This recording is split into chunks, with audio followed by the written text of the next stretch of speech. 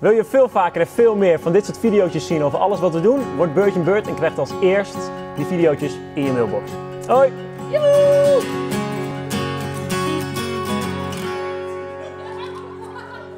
Dit filmpje gaat over het nummer High in the Clouds. Dat is het.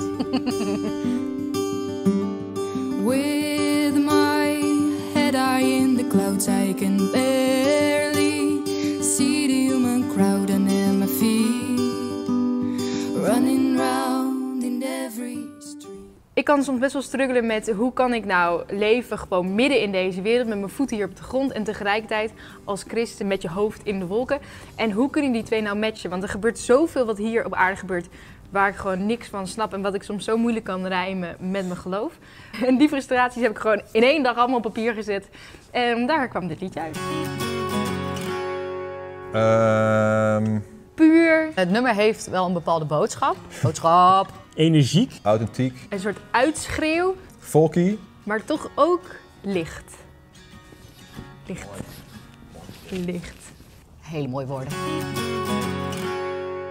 eh, gitaar, mandoline, banjo, elektrische gitaar en de neusfluit. Gatsie. Doe maar even voor.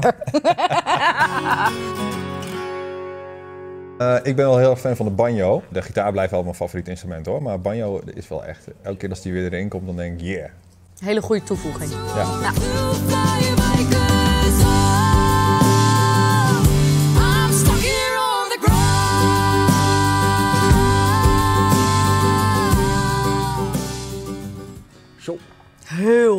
Ik, ik heb geen idee hoeveel dat er waren. Ik heb heel slecht schatten. Dozen vol. Dozen dozen. Ja, het voelde echt als 2000, maar het waren gewoon gigantisch veel. Ik zag die vraag ertussen. dacht ik, Ja, dat was met een bladblazen. En ook van die, eh, van die ventilatoren die je naast je bed zegt als je het s'nachts warm hebt. Blazen met dat ding, steeds Ja. de blaadjes ervoor gooien, Ja. zodat het er mooi overheen waaide. Dus er stond ongeveer eh, een team eh, voor ons. Al, al die blaadjes zo te gooien. Een soort tweedehands tuinman. Je kreeg steeds allemaal papiertjes in je gezicht en, En wat zo. stof ook. Stof, ja, ja, ja. Dat is één grote hectiek. Op papier werkt het natuurlijk.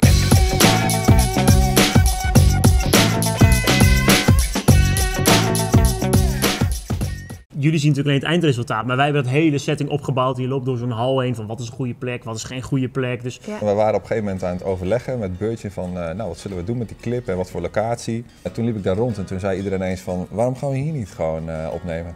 Nou, en vergeet Harm niet, onze cameraman die echt super vet meedenkt. En wij verzinnen rond de tafel allemaal ideeën. En Harm brengt dat zo woeps, tot drie minuten in de video. Dat is wel heel handig. de, de hand van Harm, eh, die is aanwezig eh, in dat clipje. I think Dat was wel weer lekker. Ja, het was echt ontzettend leuk. Nu begonnen we echt 's ochtends vroeg direct koffietjes halen, de stad in, filmen. Het weer was goed. In tegenstelling tot Bears Bello, waar we ongelooflijk liepen rillen de hele Ja. dag, was dit, was dit hartstikke Ja, lekker. Genieten. Dingen opbouwen in beeld weer en weer dit filmen. We konden ineens overal eh, toffe radio's en apparaten vandaan eh, toveren. Achtergrondjes regelen, daar langs, hier langs. Dingen opbouwen. Midden in het centrum. Ja, tussen En, de eh, mensen. Een kopje koffie erbij. Er gebeurde gewoon zoveel, maar het was echt super vet om te doen. En uiteindelijk zijn we geëindigd met eh, het bus over de dijkje gereden. En eh, dat was wel heel cool, want Iliane stapt zo ineens die bus uit, boven op het dak. En Al gooit die- rijdend. al rijdend, ja. Ja. Gooit zo de papiertjes de lucht in, dus dat was helemaal top.